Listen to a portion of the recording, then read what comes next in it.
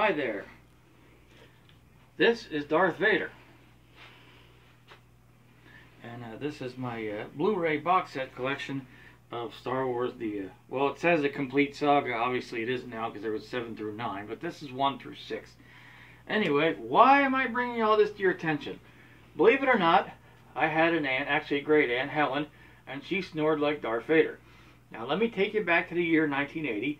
Um, my father uh, decided to go to Wyoming, so he left us. And then eventually my mother had a nervous breakdown. So she was in the hospital for a week. So I stayed at my grand, great aunt's house in Collingswood, in New Jersey.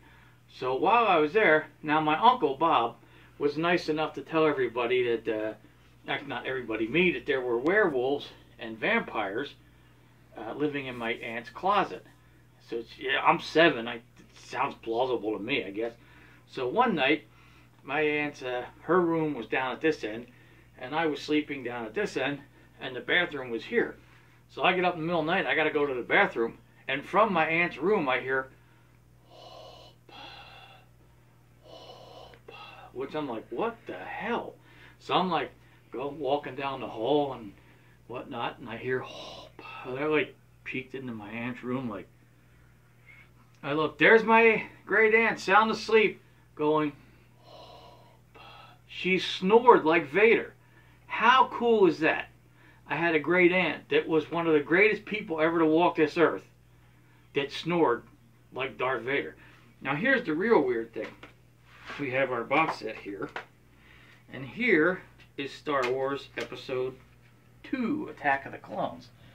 Now, my wife and I went and saw an, um, a um, midnight showing of that in Elko, Nevada. Yes, we lived there, if you can call that living. And then, strangely enough, and sadly enough, later that morning, my great aunt, who passed away, or who snored like Vader, passed away that day, which is sad. She was 84. But that's strange that my great aunt, who snored like Vader, passed away the day episode 2 came out, which, when you think about it, is when he first kind of becomes Vader when he goes unhinged and kills all the sand people after his mother died.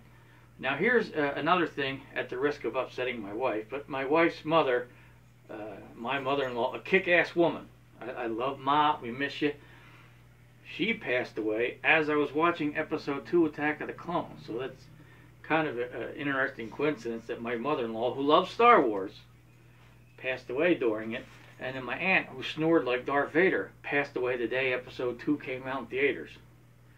It's very strange.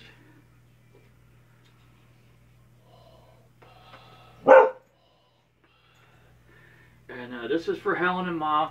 Vader salutes you with uh, a lightsaber salute.